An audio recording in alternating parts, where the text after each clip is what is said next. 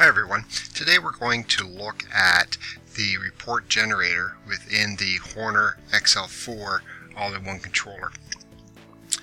And what this will do is we will create a report that will log onto the memory card located within the controller itself. So if we look at our screen, you will see our memory card is located right here.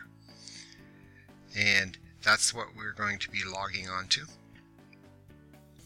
So let's take a look at uh, our, our, example that we did last time, which was our um, process mixer.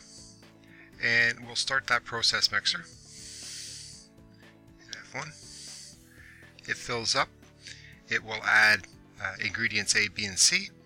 Then it will turn on the mixer for a certain time amount of time, and then it will empty that tank.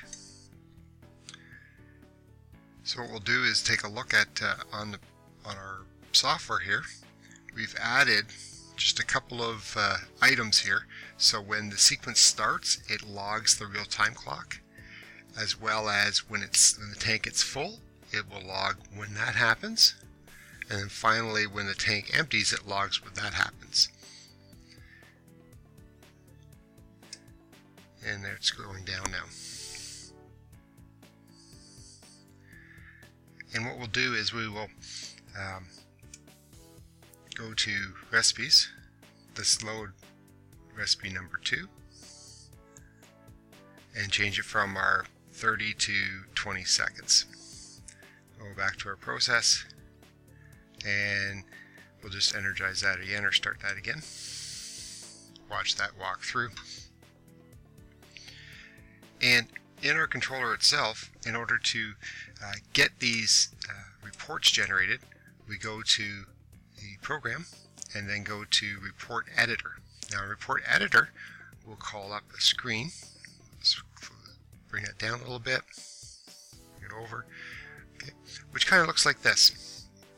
So our report that we actually make, we do everything here in this report editor.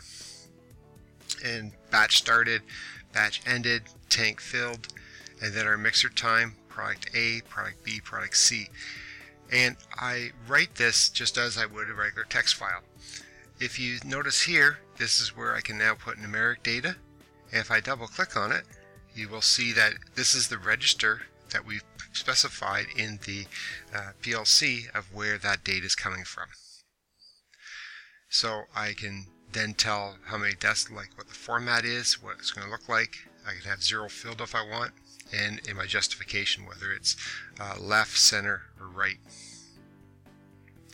Alright, so I'll put OK or cancel there. And I do that for everything. So my time here, this is where the register is for my hour, for my batch start. And again, instead of being the four digits, I now have only two. Just say OK. And now, once we have that written, what we do is we just, when it downloads into the controller, it automatically will write it or into there. So uh, there are a couple of registers that we need to set. So if we go File, and then we go Configure Control Registers, and this is my trigger. So this is my tank uh, sequence empty. So once that bit comes on, it actually triggers this report to write. And then my status of my um, report itself comes from register 500, um, which is my report status. It gives me any error messages, whether when we're writing or reading from that uh, media card.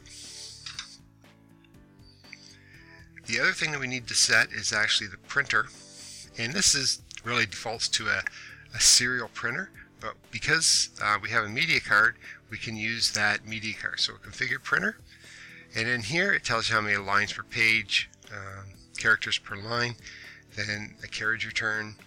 Um, our printout medium will be removable media, um, which is that card that we saw before.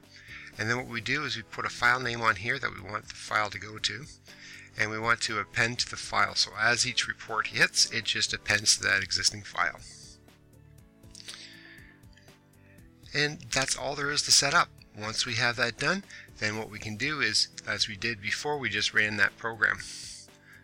So going back to our controller here, go into the media, And what I did was just uh, show one of the media um, settings that we can put on our XL4. If you hit that, you can actually see the M report here and have the size of it. So we have internal registers in this controller as well, in which we can see what's what size media we have in there, how many bytes available we have left, etc. Let's just escape out of there. And what we'll do is we will just unplug this card. So we'll just pop that out. And what you'll notice is that media automatically goes red, so it means that the card is no longer done. So we have all of our information here. What we'll do is plug that into our computer over here, and we will then call it up into Excel. And there we have it. So this is our first batch. So we did this. This is my uh, batch started, my batch end, and my tank filled time. Then I have my mixer time, my product A, B, and C. And we did it for the um, product number two, which I, which I start was 20 seconds. So that's when we did it. So there's my two batches that I did just previously. So you can see this is a very uh, useful, quick way of getting information in and out of the Horner PLC um, all in one. Now if you found this uh, helpful, there's, um, oh by the way, um, everything that we have on here can be seen on our website at accautomation.ca. So check it out. And there's three things you can do to help us out. That is, um, you can um, give us a thumbs up on this YouTube video, and it helps other people find the information. The second thing you do is subscribe to our channel, and what that will do is, again, help other people find this information and help them out. The third thing you do is um, go to our website, ACC Automation, and you subscribe to our website. When you do that, we'll give you a couple of free links for some ebooks, and we can also um, we'll give you an email every time we update the information, so you'll have it first. All right, thanks for watching.